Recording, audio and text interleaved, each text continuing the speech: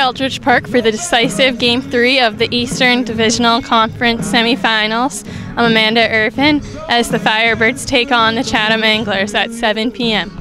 Tune in to the Bird Buzz for more analysis. Here with the Bird Buzz, I'm Amanda Irvine, joined by broadcaster Nate Gatter.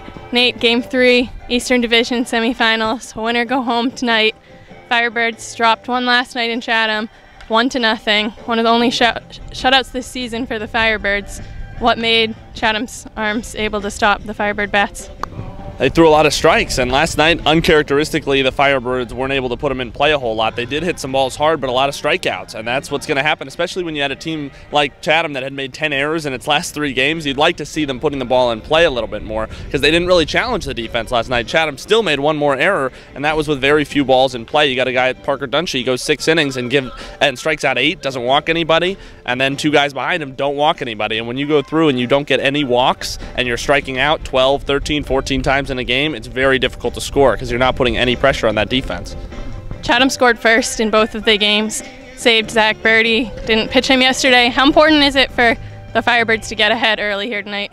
It's extremely important. I mean, it, they Chatham did score both first in both games, and that's worth noting that the Firebirds were able to come from behind in game one. But I think that's more than an, of an aberration that it would be the rule. In general, Chatham has had the best bullpen all season in the league, and they've only gotten stronger towards the end of the season. You've got Aaron McGarity closing it out with Zack Burdi in front of him, Brandon Miller, who was an all star. And honestly, Zack Burdi probably would have been their closer and the best reliever in the league if he had been here all summer, but he was with Team USA to start out.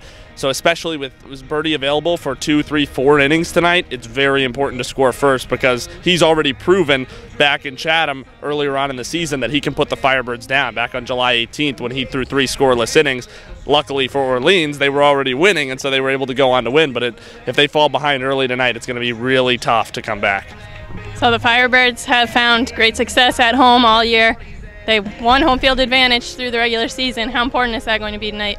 Very important. I mean, this is this is why you played so hard in July. This is the reason to have home field advantage in a game of this magnitude because it's hard to overstate what the crowd means when you do have those great relievers and at the end of the game when you've got 3,000, 4,000 people screaming in their ear, it's a very different situation. A little harder to be effective and these guys aren't going to give up. Even if they do fall behind, having this crowd behind them, they're not going to let it go easily. And that's really really important having last reps bottom of the ninth, anything can happen in a close game. So I think the goal for Orleans is to at least be tied after five, six innings. Keep this game real close, five or six innings, and then try to take advantage of that home crowd and the, having the last at bat in the last two or three innings of the ball game.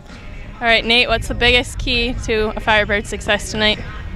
Uh, the biggest key is to throw strikes to Chatham. Don't let them on base. Don't walk them. Don't hit them with pitches. Don't make too many errors. The defense has been good. No errors yet in the series. That's it's important for that to continue. You have to force the Chatham offense, which has been really anemic all season long, to beat you with hits. Do not let them on base for free. On the offensive side, I hate to zero in on one individual, but I really think it's Willie Abreu. He's been swinging the hottest bat all along, and now Kelly Nicholson leaving him in as the designated hitter against a left-handed pitcher, Ty Dameron, and that's something we haven't seen much. Willie playing against a lefty, especially in the in the recent going, but he hit over 400 down the stretch in the regular season the last week, and he's been hitting well so far. He's hit in both games, and now he's got a chance to put the Firebirds over the top in Game Three.